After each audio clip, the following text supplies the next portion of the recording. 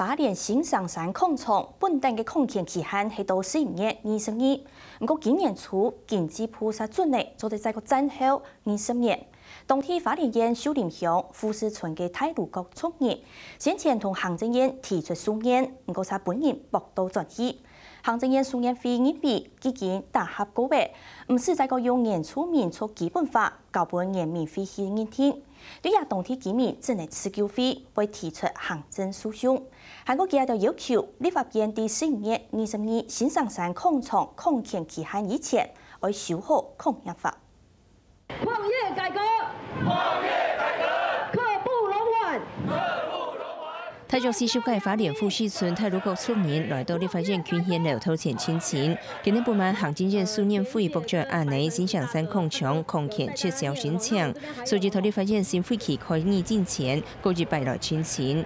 所以会议末日时讲，就年纪法第二十一条同自相同意判法第三条的规定，空权的电焊算系年免费而结天，但是书念费使用节目委员召开的年上会议结论来做基础，唔管当天年出名的。前进，最终决定的不会是政委，一定是原民会。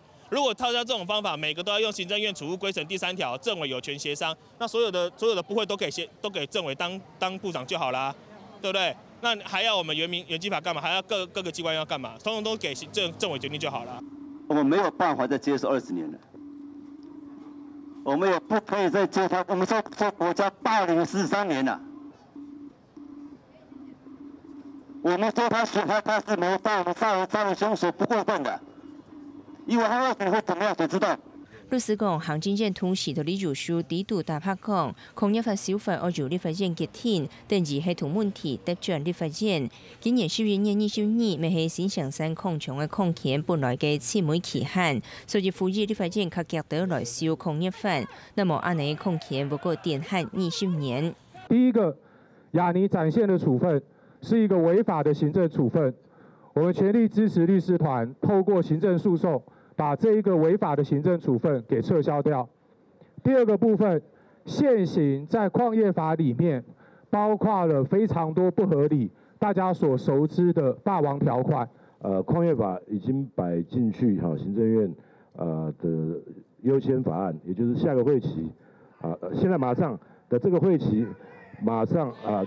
会被列为民生法案，而尽快的二三读以后啊，才能够让这些条款呃真正的从地球消失。多山矿业法列作列废弃的优先法案之一，但是蔡天基民讲，新上山矿场已经挖了四十三年，是唔得过入下一个二十年，此举会按三十年代提起行政诉讼。另外，的矿业法空权是无限制电焊，给你们希望矿业法的改革设设退场的机制，不过本案呢是无限退为继续炸山。看看新闻，齐荣俊、李文辉特别报道。